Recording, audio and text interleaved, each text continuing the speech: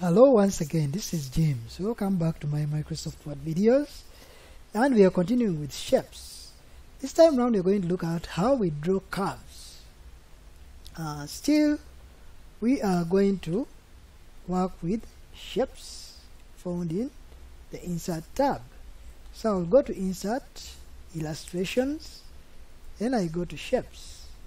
Uh, we are going to try out this first curve here let's zoom in. So I'm going to try out this one here. So I'll go to my shapes and get a line. Now to draw a straight line you hold shift as you draw. So I'll drop my line. Uh, it's blue I might want it in black. So I'll come to my shape outline. Say it's a bit thick so I'll come and choose something kind of thicker.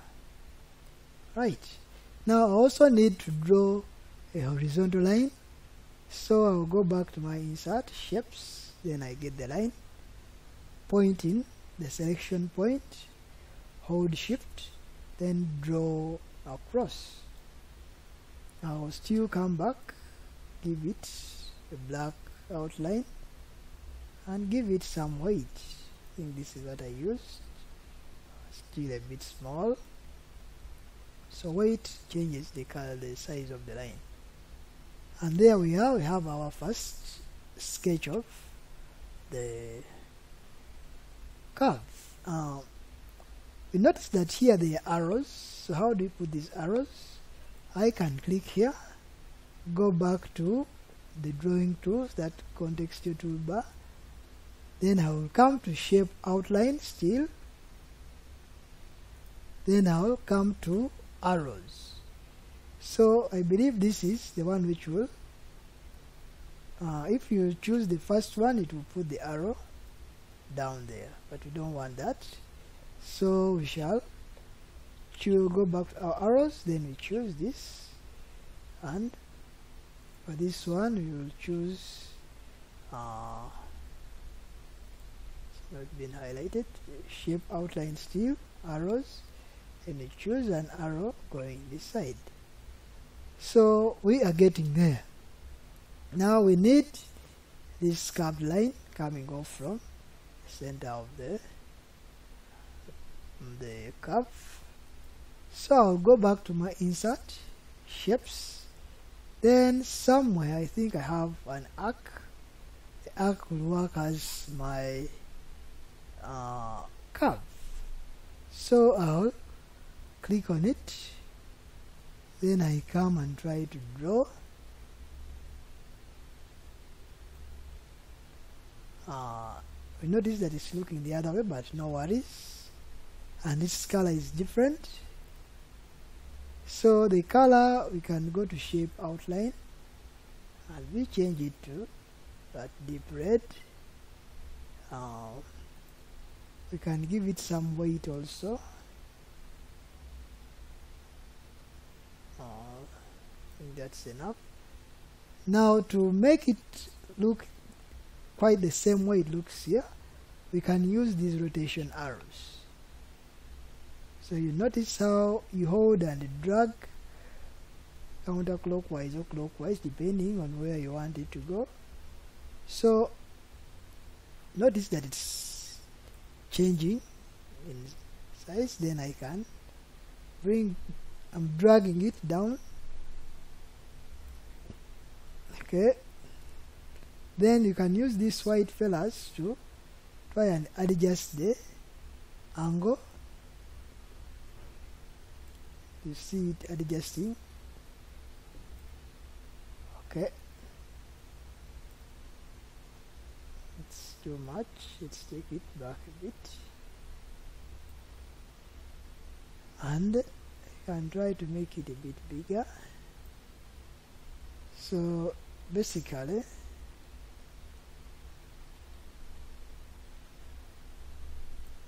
we think we have our angle.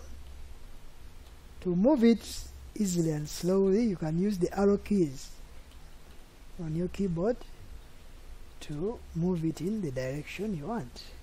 Close to the circle since you may not be able to do it very clear with the mouse. So the arrow keys as you see the mouse is away. I'm using the arrow keys to try and move it closer to where I want it to be. Right uh, I think that makes it quite okay. Uh, you have to maintain aspect ratio. It's, it's quite small compared to this one so you can still uh, try to make it big. Don't uh, overdo it like I've done. It might cause problems. To the work. So there I'll try to still take it back alright now um, you might want to adjust this a little bit.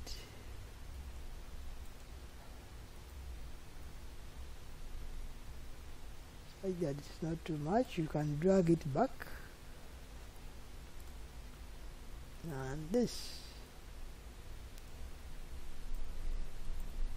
Okay so now our shape is almost done remember I'm using shapes and follow along wow now the axes are labeled this is V this is I this is 0 this is A um, we are still going to make use of the services of the text box and the grouping.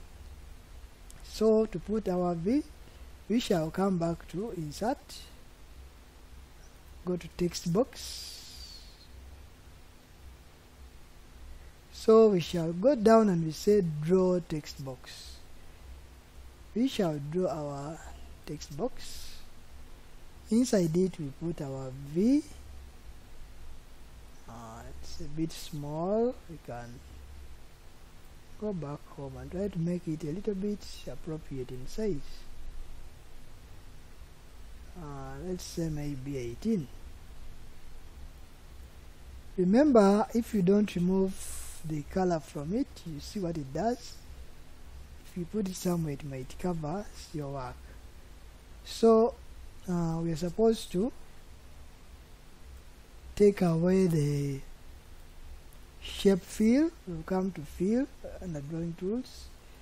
Then we say no fill though we still have this lining around it. So to take away the lining still drawing tools then we say no. Outline. So our V is now uh, proper. Okay.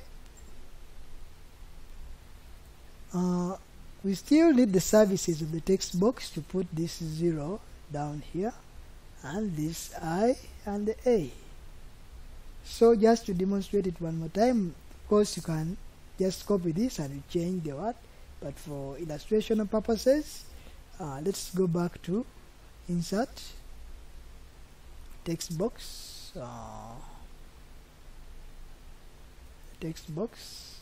And you draw text box. So uh, this time around I need it here. I text box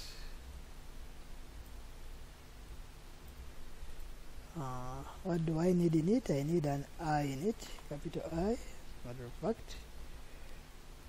Said we made this other one size 18 for clarity purposes. Uh, remember if you don't take away the if you put it there it will cover the work for example. So we have to take off the fill and outline. So we go to shape fill say no fill and again shape fill no outline. So now even if you move your I closer it won't have any effect. So I'm not going to go back to draw the next text box. I'm simply going to copy this one click away then paste and bring it. And I come down here and change this to 0 okay. I click away. I right click and now I control V to paste. And I'll say this is A. So there my curve is almost done. But remember uh, if I try to move one element of this curve other elements won't move. For example you see this? So last time we looked at grouping. Let us revisit it again. Most of your shapes which you want combined together you will have to uh, group them. Otherwise they might be hard for you to move like if I try to move this it moves as one single entity. You see that? If I try to move one of these the others don't move. So what do I do? I'll go back to uh, I'll have to highlight these objects. Hold control. Highlight this.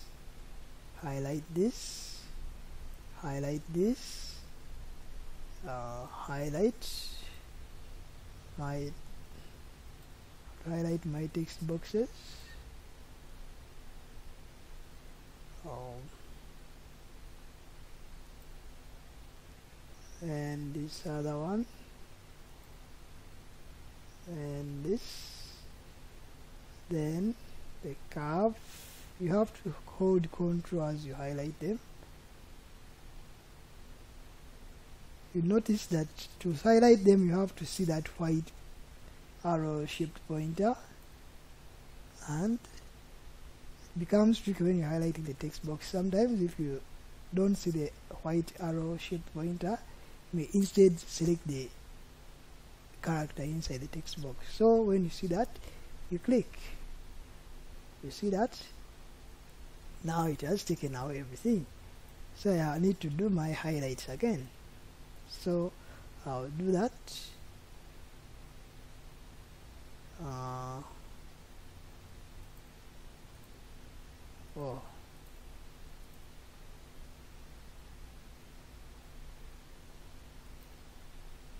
So I do that hold control. Notice that plus sign which follows. That means you want to add on a selection to the previous selection. Okay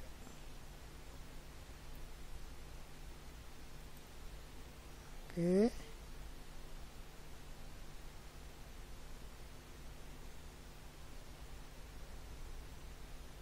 so now let me first try to group these because it may might take you a while when they are mixed up like that. So I'll come to group. So now when you try to move it uh, there is a problem some elements are not grouped. You see our I is not grouped. That is the issue I was trying to tell you about in case you don't group your work.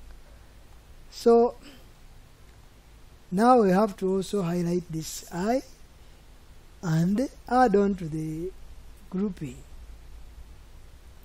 which you've done already.